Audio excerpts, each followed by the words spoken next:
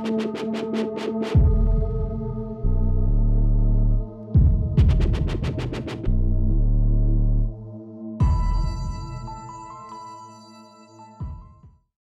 this is Brien Foerster, and this is a video actually for those of you who are recent subscribers to my channel. It's uh, a review of our exploration in March of 2018 of ancient Egypt. And what you're looking at is a granite box. Not a sarcophagus necessarily, but a box. And what you can see is that the lid was in preparation of being cut from the box itself when the saw blade, which was circular, broke. That means that there was ancient technology in Egypt long in the past. And then this is what is called the schist disc. It's amazing that it's actually on display because, of course, it too is an example of lost ancient high technology. And also these amazing hard stone bowls and plates that had to have been made on lathes. Even the, um, the description of them say that they are archaic and made before the time of the potter's wheel, which is kind of odd. And as well, we have these boomerangs. Now the question is, did Egypt independently create boomerangs or were they brought back from Australia from some ancient expedition? And this very odd object made out of very hard quartzite stone, you can see that it's damaged. I don't know what it was used for during dynastic times, but it appears also to have been made using ancient lost high technology because the dynastic people could not properly shape quartzite. It's too hard. And here we are at the Osirion, which is at Abydos. This was created underground and was rediscovered in the 19th century AD. You can see the size of the granite blocks, some weighing at least 40 tons, and the granite came from Aswan, which is hundreds of miles to the south. And here we see what are called the tombs of the nobles.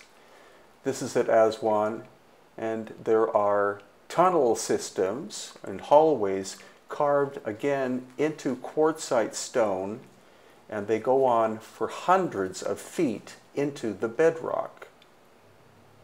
Now we're at Saqqara and there's the famous Djoser pyramid in the background and what we're going to see is something that not that many visitors see and it's one of many massive shafts carved into the limestone bedrock. Again, it's not that there is one of them, there are several of them in the Saqqara area.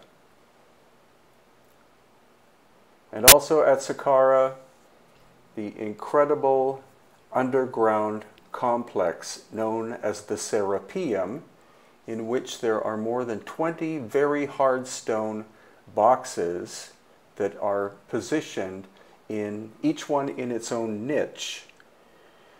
Conventional story is that these were made to uh, be sarcophagi for Apis bulls, but that is completely nonsensical, as the stone is a type of granite, and again, the dynastic people with bronze chisels could not have shaped these huge boxes that weigh in the neighborhood of a hundred tons apiece look at the glossy surface and also look at the really crappy hieroglyphs that are carved into the surface of the box. It's quite clear that whoever made the box was not the same person or people who did the really bad hieroglyphic etchings.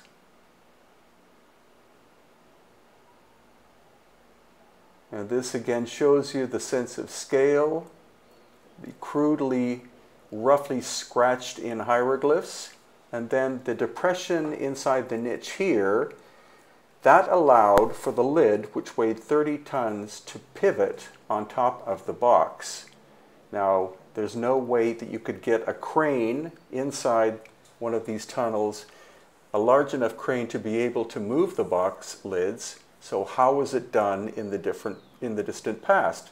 Because each of these boxes was found with the lid ajar, except for one, which the um, archaeologists decided to use gunpowder to blow the side out, and they found nothing in any of these boxes.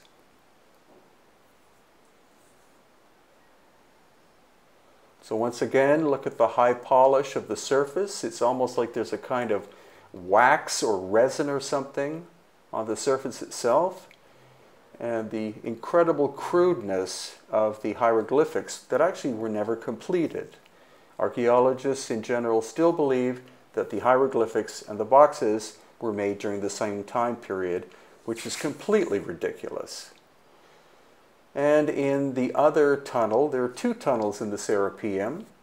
Here we see a box that was never fully completed and never moved to its niche. And that's a great clue on some level as to the mystery of these. As we get up close, you can see that the surface is not finished like the one inside the niche is. And so clearly the box was in transport to its niche where supposedly it was going to be completed. And then there in the background is the actual lid coming afterwards. Since this, uh, the Serapeum is pitch black and there's no sign of soot or anything on the ceiling, how was it lit in order to move the boxes into place? Now we're in northern Egypt, and this is a site called Tanis or Tanis a very mysterious place that not too many people go to. And what we see are monumental, huge pieces of granite that um, each piece of granite here is broken and also shows possible heat scorching. It's as though almost like a nuclear device or something went off at Tanis. Now here is a quartzite statue, and as we go up close to it, you'll see that the surface is not only scorched, but melted.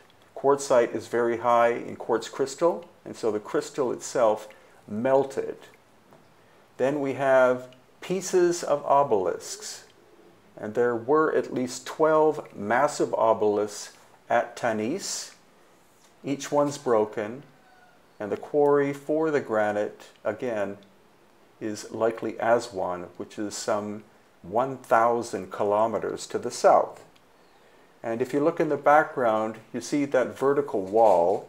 That is the result of the excavation. So almost everything at Tanis was found buried underground, again, as if a massive cataclysm had occurred. And then here we are on the Giza Plateau, and this is the phenomenal Osiris shaft, which has only been opened since, I believe, 2016. It had never been open to the public before. It consists of three levels. That's looking down into level number one underground. You can see that it's carved out of the limestone bedrock. And this is in level one. And now looking down into level two. Level one is about 30 feet underground. Level two is another 100 feet underground. And here we are in level two. Again, you can see this quite large chamber with niches carved into the bedrock itself. And there are two large stone boxes here. Not as big as at the Serapeum, but this one's very strange. You see that black kind of oozy goo material. I don't know exactly what it is. It looks organic, and when I return in April of 2019, I'm going to take samples of it and have it analyzed. Some people have said it's hydraulic fluid, but I don't think so because we find this strange goo-like sticky liquid on the outside and also much more on the inside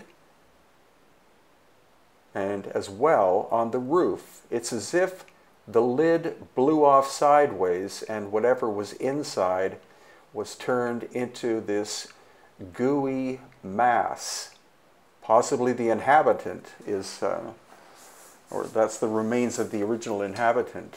And that is looking down into level three, which is a further 60 feet underground. So in total, the shaft system of the Osiris shaft goes down about 200 feet. And here we have my brother Yusuf Awyan. He's standing on top of a box estimated at 60 to 100 tons with its lid on. And the, the water inside there is almost crystal clear, very strange. Of course, there is underground water at the Giza Plateau, and there are huge pumps that continuously pump the water out. So here again, we're back on level two. There's the box on the left with the gooey, somewhat or possibly organic material, sticky uh, surface on the outside. And then here now back up into level one with uh, Yusuf Awyan coming out as well as our guests. Luckily there are two ladders. The ladder on the left is the older one, which is quite rickety. The one on the right is much more secure. And then here we are about to walk through and go up to the surface level. What I'm going to do next time in April is to look for uh, machining marks because we only had two hours inside and so I was preoccupied with filming everything. Then here, back up to the surface, you can see this grate, rusty grate, which is still locked. But we did hire the Osiris shaft for two hours, our group of, I believe, 40 people. It cost in the region of 2,000 to $3,000 for, for us as a group to rent the shaft, but it's great that it's actually open. And then this is the Valley Temple on the Giza Plateau, all megalithic blocks of granite, likely from the Aswan Quarry in very southern Egypt, massive in scale, and then coming out of the Valley Temple, there's the Great Pyramid in the, in the background. And of course, the Sphinx, which has now been proven to be a minimum of 10,000 years old based on water weathering. You can see the somewhat modern repairs.